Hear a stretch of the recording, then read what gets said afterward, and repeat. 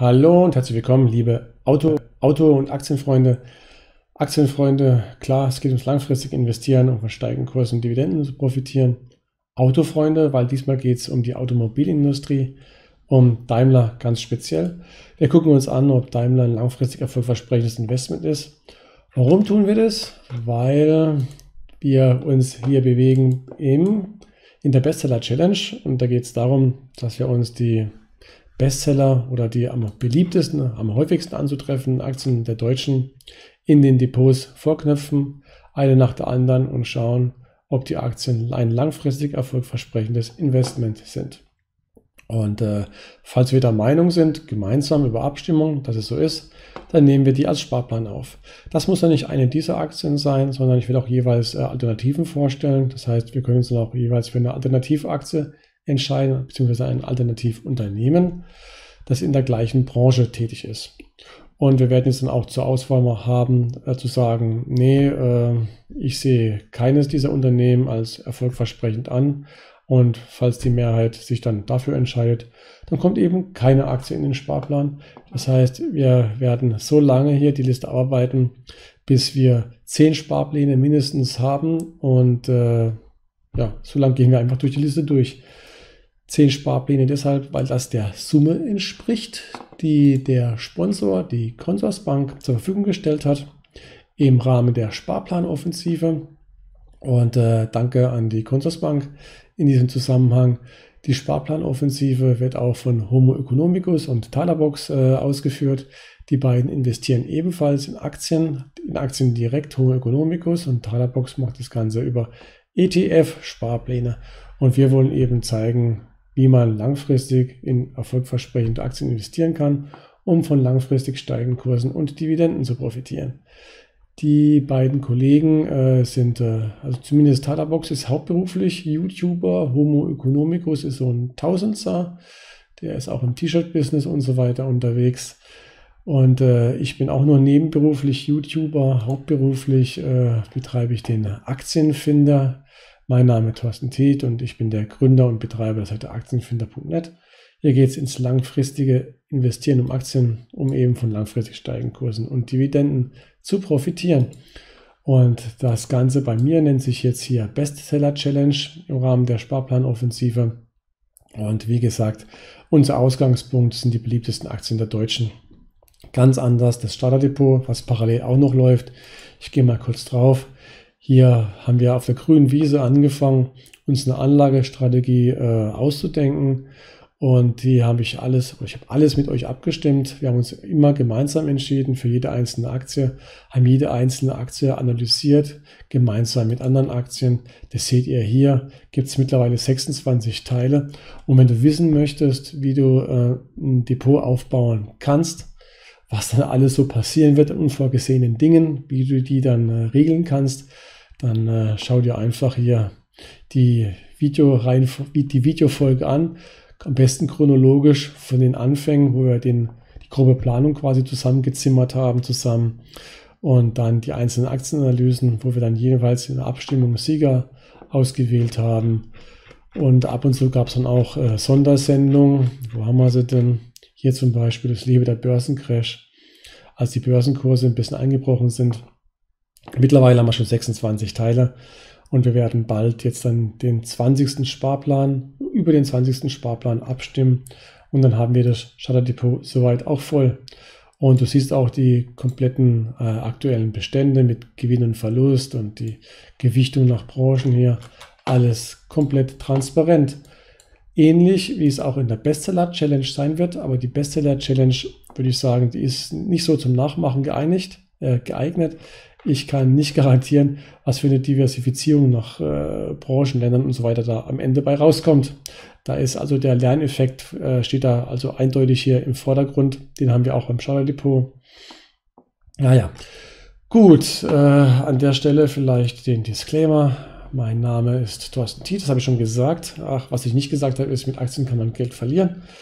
Insbesondere Kurs, äh, kurzfristig kann ich nicht sagen, wohin sich die Aktienkurse entwickeln werden. Ich habe keine Glaskugel und ich gebe keine Kaufempfehlung ab. Bitte eigenverantwortlich mit dem Geld umgehen. Das Ganze als äh, ja, gute Unterhaltung sehen. möglichst gewinnbringend, hoffe ich jedenfalls für dich. So, und dann gehen wir mal zu den Aktienanalysen. Sind wir jetzt hier im Aktienfinder. Ah, vielleicht noch ganz kurz hier Starterpaket.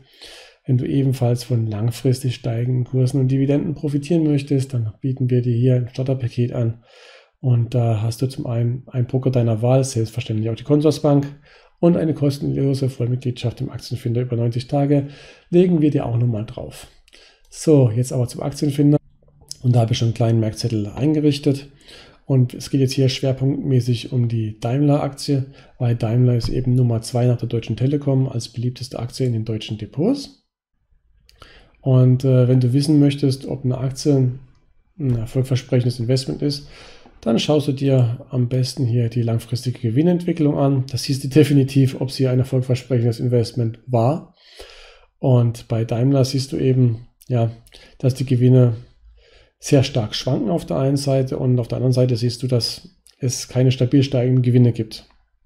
Hier in dem Zeitverlauf zwischen 2010 und 2017 sind die Gewinne mal schön gestiegen, jetzt sind sie ja wieder eingebrochen.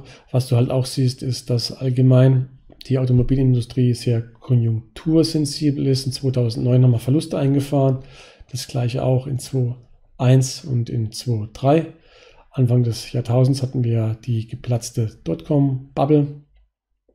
Und dann siehst du das als zweites, dass die Dividendenentwicklung ebenfalls unzuverlässig ist, weil die Gewinnentwicklung unzuverlässig ist. Wir haben mehrere Dividendenkürzungen in 2.1, in 2.9, in 2.10 wurden die Dividenden komplett gestrichen. Und in 2019 haben wir jetzt die letzte Dividendenkürzung erfahren.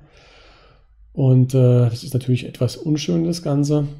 Was am wichtigsten eigentlich ist, das ist, dass du bei einer solchen, bei, bei einer solchen Gewinnentwicklung nicht von langfristigen Kursgewinnen äh, ausgehen kannst.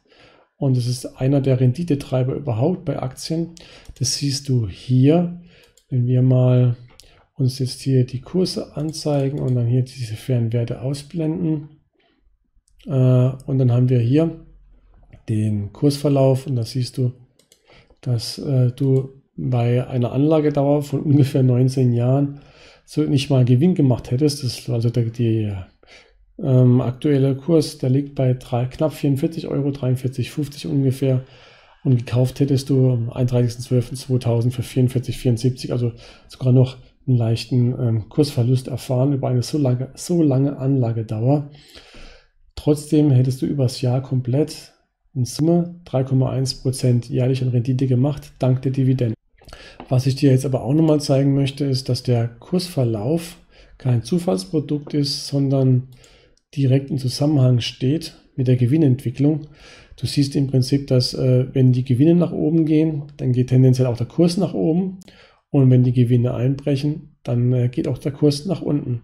Und was du auch siehst, das ist, dass äh, die Kursentwicklung meistens äh, der Gewinnentwicklung etwas vorausläuft. Das heißt, ähm, an der Börse wird die Zukunft gehandelt. Und äh, zum Beispiel hier während der Finanzkrise, die hat ihren Höhepunkt im Februar, März 2009 erreicht und da waren die Kurse ganz unten. Und danach war dann schon wieder Licht am Ende des Tunnels und dann haben sich die Kurse wieder erholt. Äh, der Einbruch der Finanzkrise hat aber dann in den Bilanzen, also der, ja, beim, beim Gewinn des Unternehmens, seine Spuren für das gesamte Jahr 2009 hinterlassen. Und wird jetzt hier grafisch so abgebildet, dass am Ende 2009 es dann ganz nach unten geht.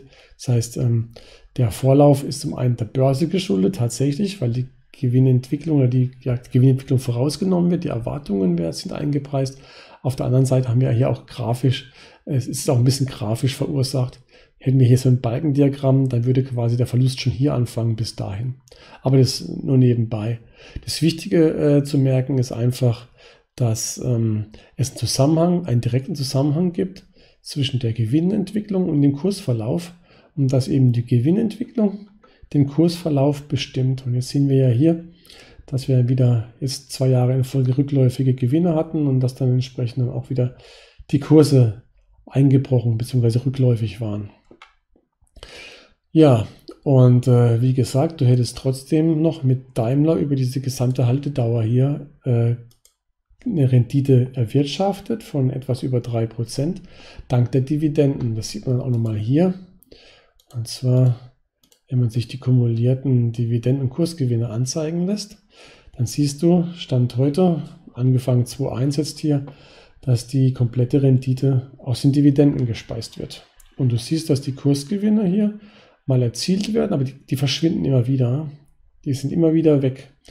Und das Problem jetzt ist, das übergeordnete Problem ist, dass wenn du in solche Aktien investierst und solche Erfahrungen sammelst, dann denkst du irgendwann, dass du dich im Prinzip nur auf die Dividende verlassen kannst.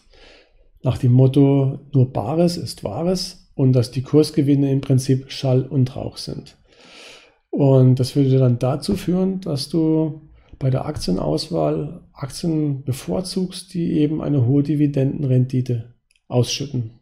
Also eine hohe Dividende ausschütten, beziehungsweise eine hohe Dividendenrendite haben. Und äh, damit setzt du dann systematisch eigentlich auf das falsche Pferd. Weil du dann nicht auf Unternehmen setzt, die stabil steigende Unternehmensgewinne haben, sondern weil du auf Unternehmen setzt, wie Daimler eben, die halt eine hohe Dividendenrendite haben, weil der Kurs, weil, weil der Markt das Unternehmen eben niedrig bewertet, eben weil diese Unternehmen kein stabiles Gewinnwachstum aufweisen können. Und dann wirst du halt eine andere Performance haben. Und hier sind wir auf TradingView.com und da siehst du jetzt nochmal die Kursentwicklung der Daimler-Aktie hier über, also seit 2000, Ende 2000 im Vergleich zur, zum DAX, zum Kurs DAX. Also das heißt, hier ist alles ohne Dividende und da siehst du dann halt, dass wir hier bei Daimler diesen leichten Kursverlust haben und dass wir hier beim DAX in der Zwischenzeit eine Entwicklung haben von 88 Prozent. Und das holst du halt über Dividenden auch nicht mehr raus. Und äh, sowas ist eben schade. Und besser wäre es halt, wenn du in Unternehmen mit langfristig steigenden Unternehmensgewinnen investierst. So viel zu Daimler im Speziellen. Und damit ich auch noch was zur Automobilbranche insgesamt, also meine Einschätzung zum Besten geben. Und äh, die Automobilbranche sieht sich einigen Herausforderungen gegenüber. Und zwar gibt es jetzt ja mal zwei Stichworte. Das eine ist Elektrifizierung, das andere ist Digitalisierung. Elektrifizierung und was, jetzt, was ich jetzt sage, betrifft insbesondere hier in der Liste BMW, Daimler und Volkswagen, dass die das als Herausforderung haben und dass die beispielsweise Tesla hier hinterherhecheln. Elektrifizierung ist klar, es gab äh, den Verbrennungsmotor, der über 100 Jahre der Hauptantrieb von Automobilen gewesen ist und äh, er wird jetzt immer wahrscheinlicher abgelöst werden vom Elektromotor. Und das ist eine ganze Weile lang belächelt worden. Mittlerweile wird es auch von den großen Automobilherstellern nicht mehr belächelt. Beispielsweise investiert jetzt äh, Volkswagen, ich habe es mir hier irgendwo aufgeschrieben, 30 Milliarden Euro in die Elektrifizierung bis 2024 und möchte 50 E-Modelle bis 2025 auf dem Markt haben. BMW beispielsweise will es auf 35 E-Modelle bringen bis 2023 bereits. Also ähm, hier ist ein, eine Aufholjagd im Gange gegen Tesla und oder BID ist ja auch relativ weit vorne aus China. Das ist eine Herausforderung. Andere Herausforderung ist die Digitalisierung. Da ist insbesondere das autonome Fahren äh, ein großes Thema, beispielsweise aber auch äh, Entertainment. Klar, wenn man ähm, die Hände nicht mehr am Lenker, am Steuer haben muss, dann kann man dabei auch Netflix gucken beim Autofahren und Co. Und äh, da habe ich mir auch was aufgeschrieben, so was zeigt, wie weit äh, hinten die eigentlich dran sind bei der Verfolgungsjagd auf Tesla und Co aus dem Quartalsbericht 2 2019, das steht, Daimler und die BMW Group wollen gemeinsam die nächste Technologiegeneration für Fahrassistenz, Systeme und automatisiertes Fahren auf Autobahnen sowie automatisierte Parkfunktionen entwickeln. Ab dem Jahr 2024 sollen entsprechende Systeme in Pkw für Privatkunden verfügbar sein. Ab 2024.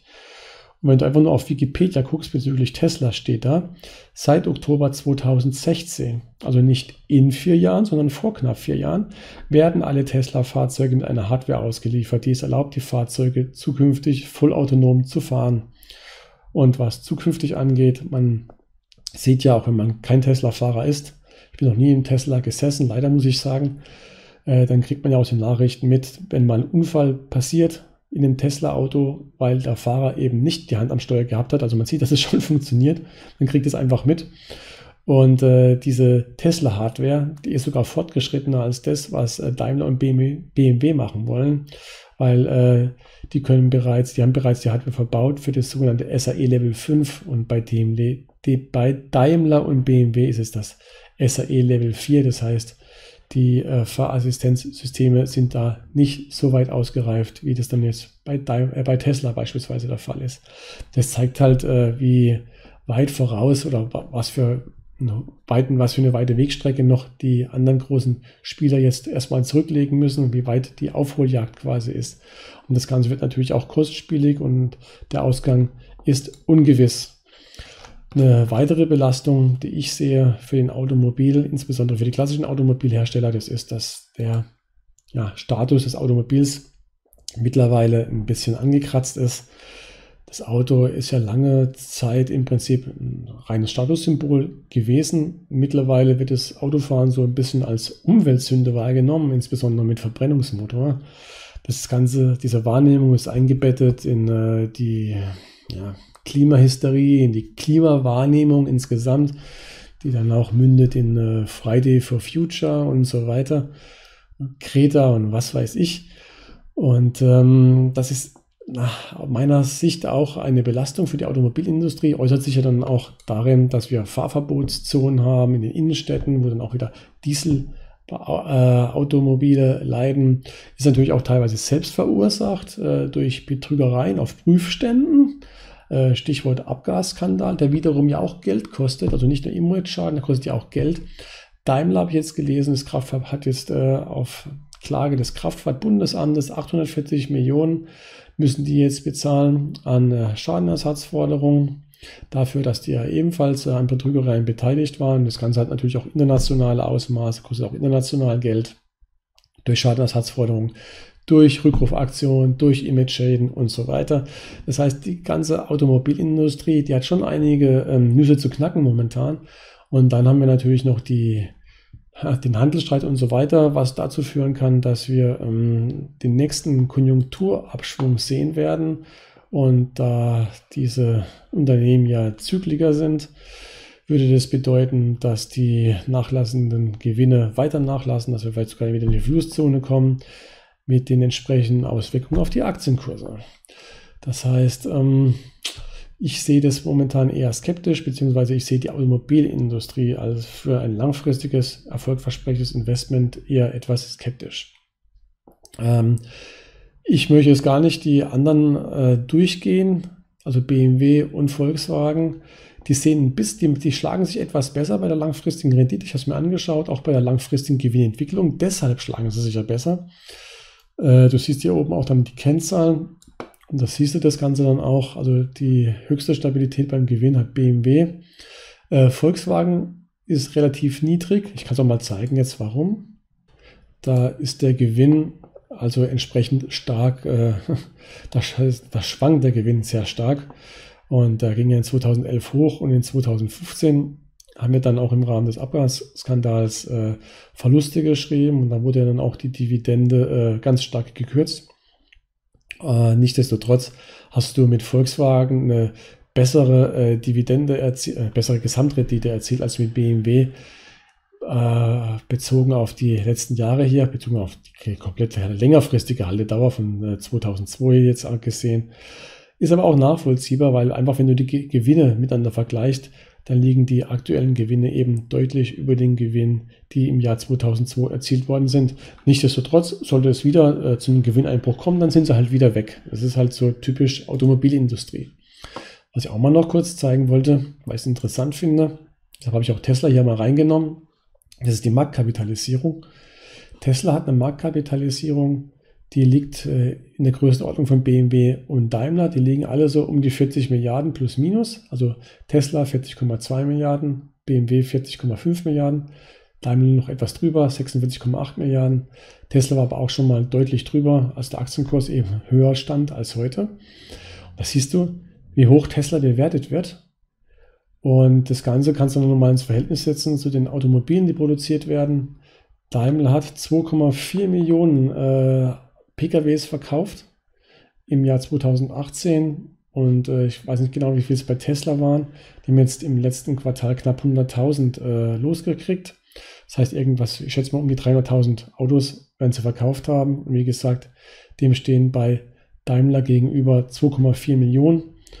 Und äh, ja, ist schon ein großer Unterschied. Und nichtsdestotrotz, die, der Markt äh, bewertet die Unternehmen annähernd gleich.